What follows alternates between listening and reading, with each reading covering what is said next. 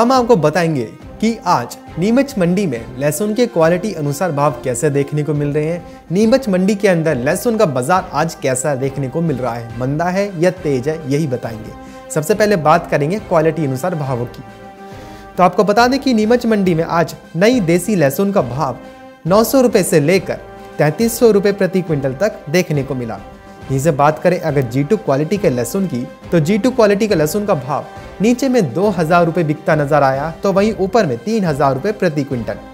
इसी के साथ बात करें यहाँ से नया ऊटी लहसुन की तो नया ऊटी लहसुन दो हज़ार से लेकर चार हज़ार रुपये प्रति क्विंटल तक देखने को मिला। वहीं जो देसी लहसुन बॉक्स क्वालिटी का माल है, वो नीचे में अट्ठारह सौ रुपये से लेकर ऊपर में तैंतीस सौ रुपये प्रति क्विंटल तक देखने को मिला आज नीमच मंडी के अंदर। यहीं से बात करें अगर देशी फूलगोला लहसुन की तो देशी फूलगोला लहसुन का भाव 1400 से लेकर अट्ठारह सौ रुपये प्रति क्विंटल तक देखने को मिला।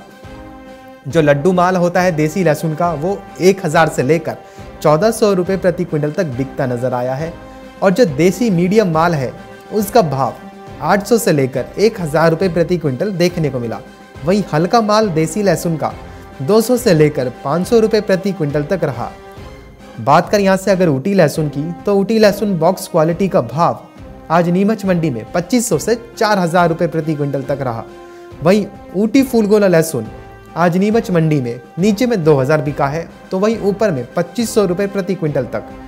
और जो ऊटी लहसुन का लड्डू माल है, वो 1500 से लेकर 2000 रुपए तक रहा।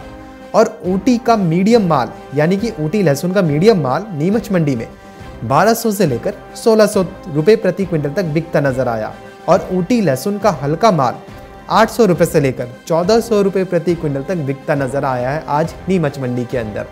तो ये थे नीमच मंडी में आज के लहसुन के क्वालिटी अनुसार भाव। यहाँ से बात करें अगर नीमच मंडी में लहसुन के बाज़ार की मंदी और तेज़ी की तो आपको बता दें कि नीमच मंडी में आज लहसुन का बाज़ार तेज ही देखने को मिला है। Bureau report, market times, TV.